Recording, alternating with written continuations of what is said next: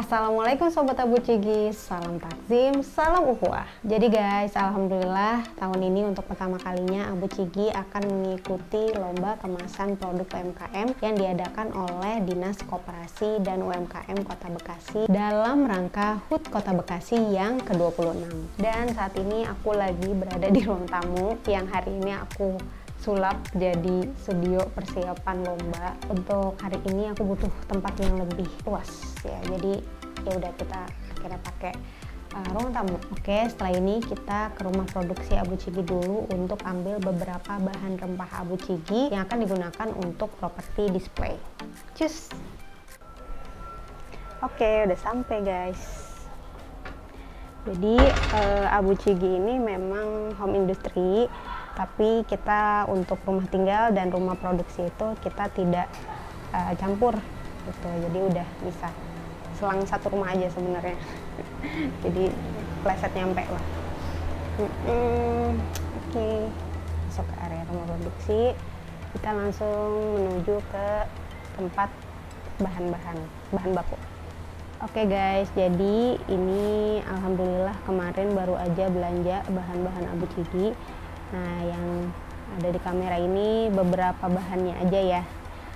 Nah, ini masih seger-seger banget. Di sini ada uh, lengkuas merah, ada jahe merah, ada kencur. Dan di sini ada temulawak dan di sini ada kepala kunyit. Nah, setelah ini akan dibersihkan dulu sebelum digiling.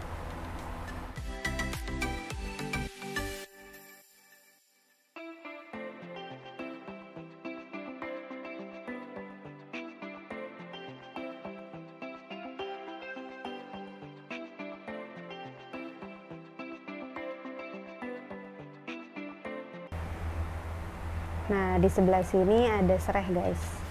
Nah, ini masih seger-seger banget juga. Baru kemarin banget nih dibelanjain. Nah, ini setelah ini akan dicuci dan juga dicacah.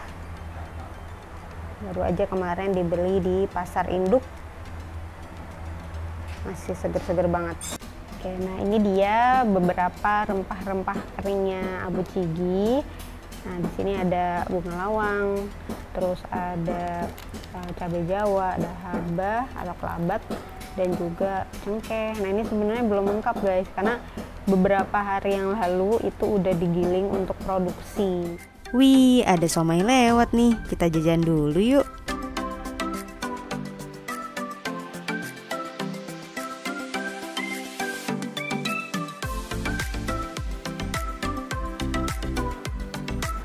Sobat Abu Cigi, jadi ini hasil jarahan kita tadi di rumah produksi. Sama tadi ada tambahan lagi ya, uh, ada tambahan lada hitam, terus juga ada ketumbar.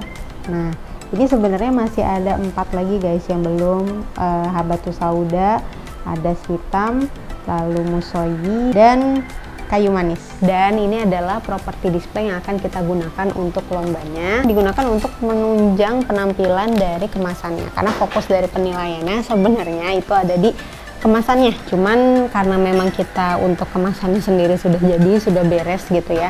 Jadi uh, kita akan coba maksimalkan lagi di uh, displaynya supaya bisa menunjang penampilan dari kemasan Abu Cigi. Untuk propertinya beberapa kita manfaatkan dari yang sudah ada dan beberapanya juga ada yang beli. Nah buat sobat Abu Cigi yang lagi cari rekomendasi atau referensi properti foto produk atau display pameran, informasinya bakal berguna banget jadi jangan di skip. Nah untuk kotak kayu ini nggak beli, jadi ini tadinya itu adalah uh, packaging makanan kue gitu.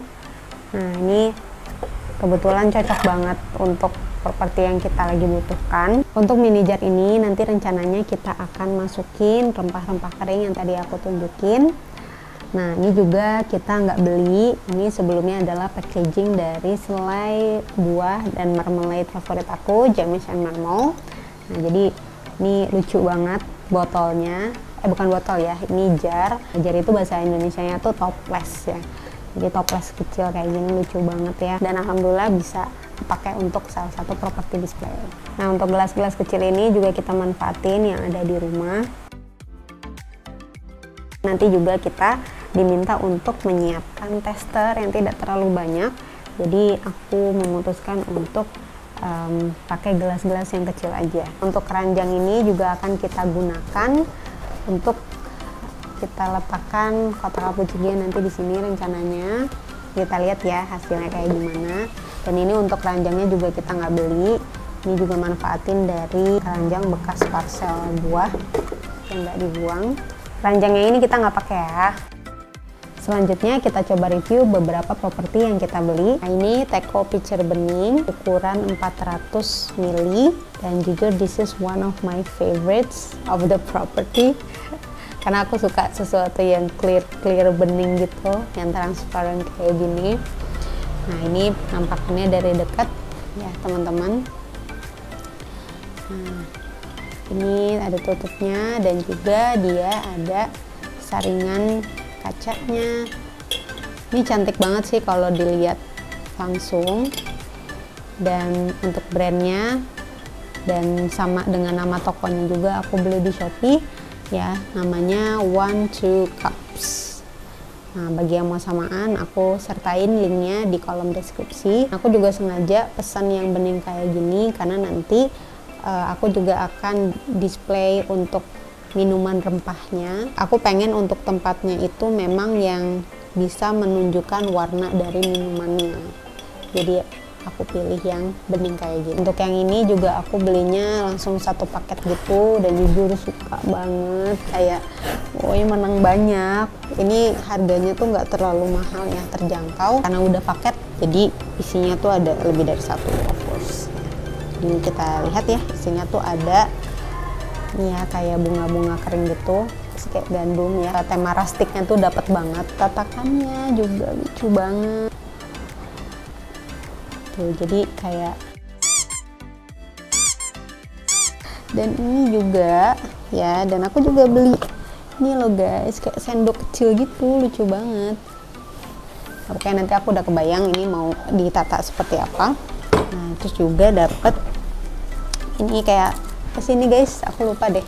Pokoknya ini sering banget ya jadi properti foto.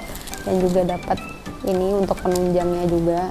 Itu masih satu paket dan isi paket lainnya yang terakhir juga kain-kain kayak gini ya nah kain ini dan juga kain putih seperti ini Oh iya, hampir ada yang ketinggalan nih guys. Kita juga pakai mini wooden stand kaki tiga yang juga bisa banget bikin dekorasi display produk kamu jadi makin cantik. Sobat Abu Cigi yang mau samaan, langsung aja cek linknya di kolom deskripsi, recommended.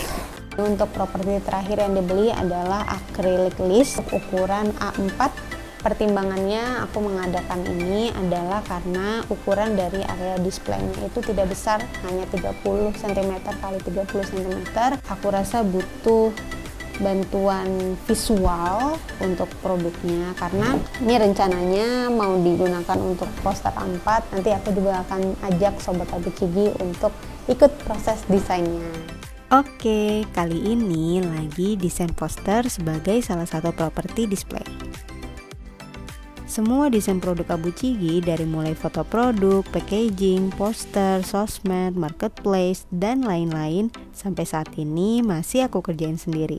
Biasanya aku suka pakai Photoshop dan Canva.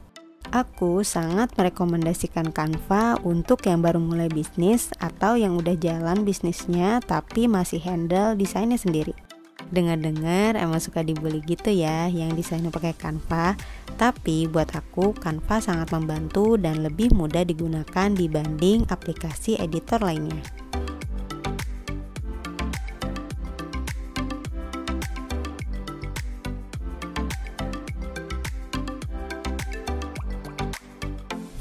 Pagi Sobat Abu Cigi. Salam taktim, salam ukhuwah. Kita lagi otw nih pagi-pagi.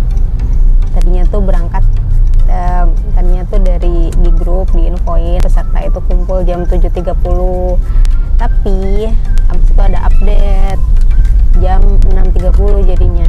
Tapi kita baru berangkat jam 6.30 nih. Ada sepaku Ibu. Sehat ibu? Alhamdulillah. Siap bu hari ini. Insya Allah siap mendampingi.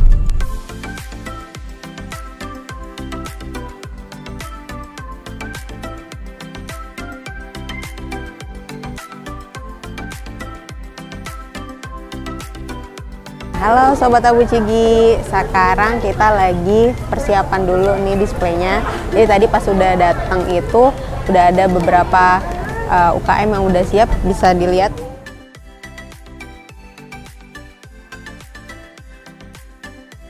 Nah sekarang untuk Abu Cigi ya, untuk dekornya itu kita uh, kalau dilihat kayak agak rustic-rustic gitu nggak sih? Kayak. nah cuman kita uh, pengen tem uh, alami. dulu, jangan nonton dulu. Ah, jangan nonton dulu.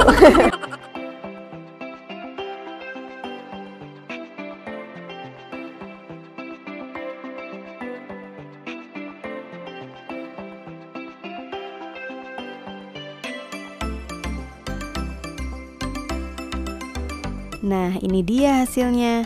Menurut sobat Abu Cigi gimana? Kasih tahu di kolom komentar ya.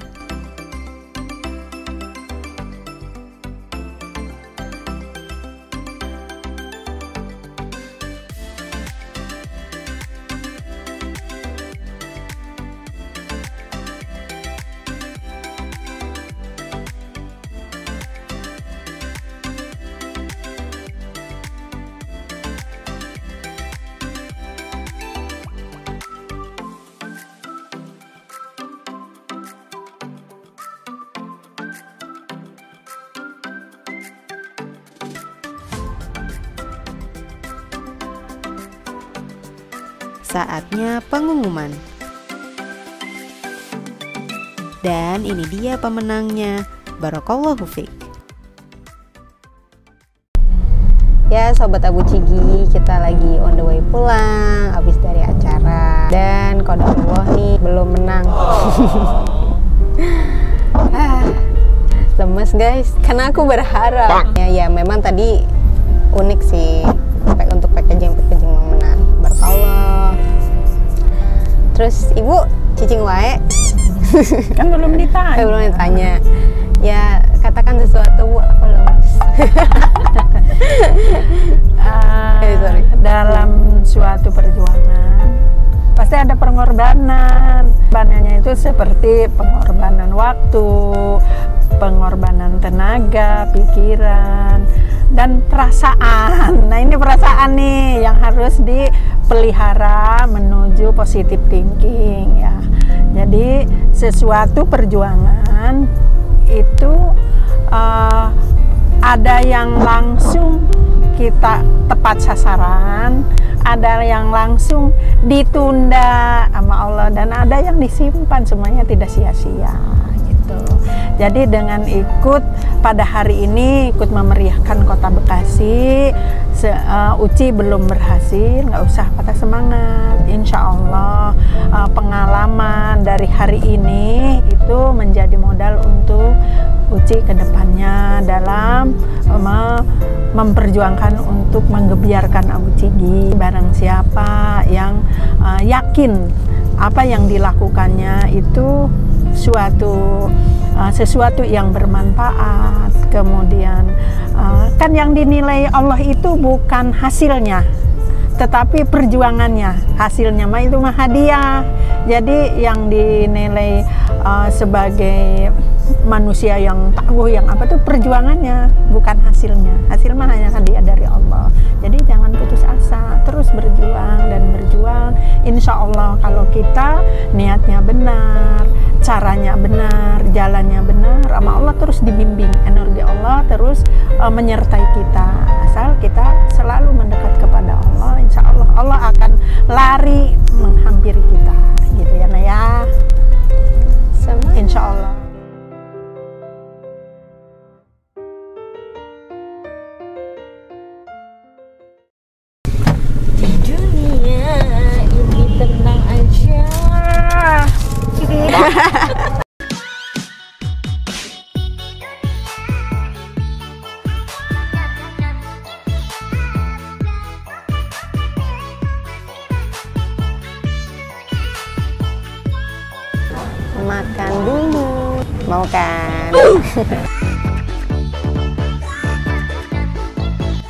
Sobat Abu Cigi, sampai sini dulu ya videonya. Semoga menghibur dan menginspirasi. Terus dukung Abu Cigi TV dengan klik satu kali tombol subscribe-nya jika masih merah. Share video ini agar makin banyak yang nonton. Like dan komennya juga ditunggu ya. Abu Cigi TV, salam takzim, salam ukhuwah.